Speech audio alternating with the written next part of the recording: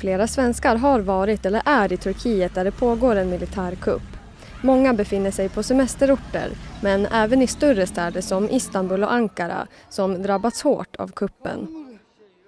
En av dem är Berfin Salman från Halmstad. Hon befinner sig i Istanbul för att hälsa på släkten men berättar att hon inte vågat lämna lägenheten sedan fredagskvällen.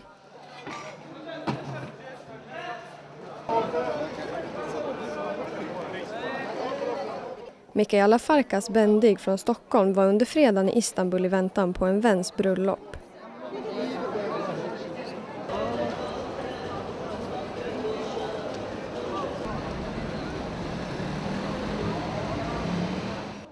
Under lördagen befann sig Ida Johansson från Åstorp på ett hotell i Alanya tillsammans med sin dotter Mia-Maria och styvdottern Elin.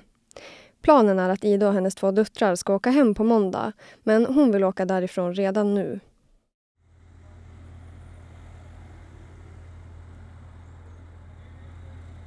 Även Asa Sheraguandi från Stockholm befinner sig i Turkiet.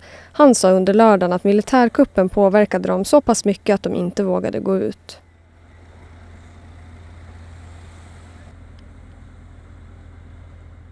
I fredags var Felix Nordlind från Stockholm på väg till Bodrum men mellanlandade på flygplatsen i Istanbul. Han och hans vänner satt fast på flygplatsen tillsammans med många demonstranter.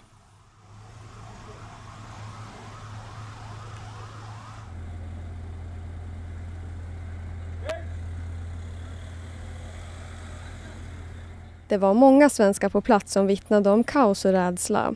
På utrikesdepartementet uppskattar man att omkring 15 till 20 000 svenskar befinner sig i Turkiet under sommaren. Och enligt de svenska charterbolagen är runt 6 200 svenskar fast i Turkiet.